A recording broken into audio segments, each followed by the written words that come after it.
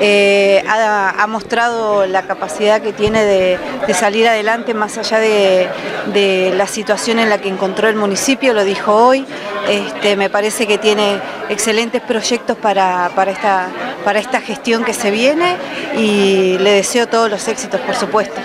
Ustedes saben muy bien que mi relación con el intendente Ongarato no fue la mejor durante los cuatro años, así que no, este, después del 2021 creo que quedó una grieta ahí dentro del Consejo Deliberante, ustedes lo conocen muy bien, yo no se los tengo que explicar, pero más allá de eso se hizo eh, un gran trabajo desde el Consejo Deliberante que no se, por ahí no se vio reflejado eh, que sea malcomunado con, con, el Ejecutivo, por lo menos desde, desde mi punto de vista. Sí, no compartimos comisiones, compartimos reuniones de bloque, no somos amigos con el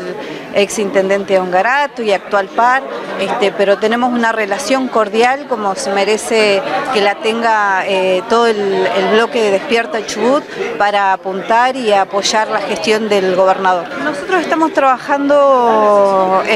con el ministro de Turismo, ahora vamos a juntarnos con el presidente de Chubut Deporte para empezar a trabajar algunos proyectos de ley que tenemos eh, para presentar en la Cámara.